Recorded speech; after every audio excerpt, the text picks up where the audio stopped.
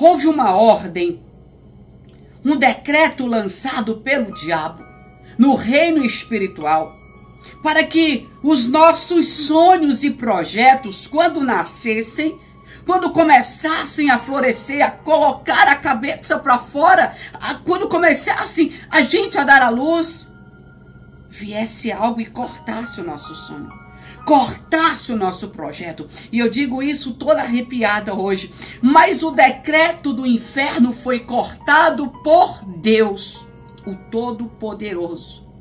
E desceu uma ordem de cima daquele que comanda todas as coisas, dizendo: Deixe viver o sonho do meu povo. Deixe viver os projetos do meu povo. Deixe viver os filhos do meu povo. Deixe viver tudo aquilo que eu coloquei nas mãos do meu povo. E o Senhor diz: Diabo, bata em retirada nesse dia 16 de agosto. Você não vai matar aquilo que eu dei vida, diz o Todo-Poderoso. Olha para mim aqui, para o meu dedo, assim diz o Senhor.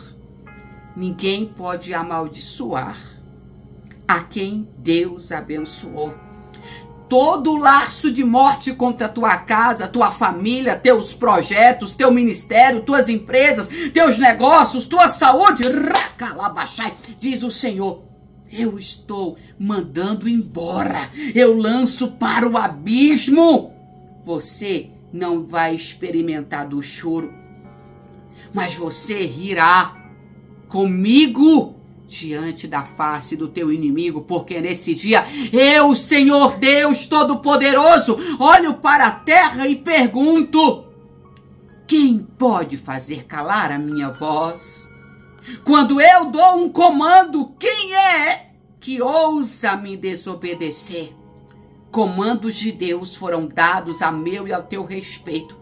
E o Senhor diz: neste dia, nesta palavra, eu dou comandos lanço decretos no reino espiritual, no natural, na terra, no céu, no inferno, ao teu favor que assiste esse vídeo. Você vai crescer, vai romper e os teus inimigos cairão diante de você.